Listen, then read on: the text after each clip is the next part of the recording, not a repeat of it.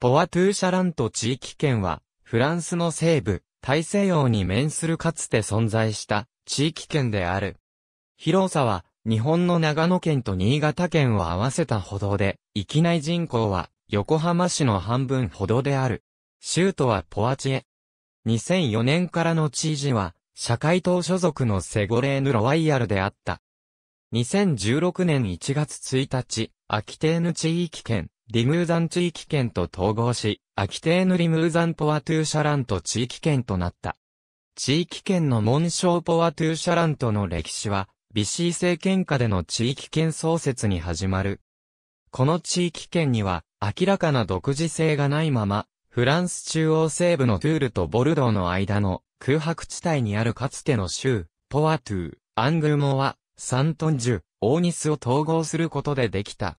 ラロシェルと、ほぼ同規模の都市であるポワチエが地域圏首府に選ばれたのは、大学都市であったためであった。地域圏議会は、定員56名で構成される。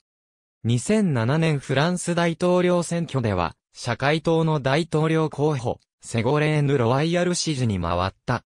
住民の少数派が、ポワトゥ語、サントンジ語、リムーザン語といった言語を話している。ヴィエンヌ県、シャラント県ドゥー。県シャラント。県主要産業は農業と漁業である。コニャックやピノードシャラント、エシュレバター等の乳製品の生産が知られる。TGV のパリボルドー館、ナントボルドー館にあり、ロワイアンのような観光地を抱える。ありがとうございます。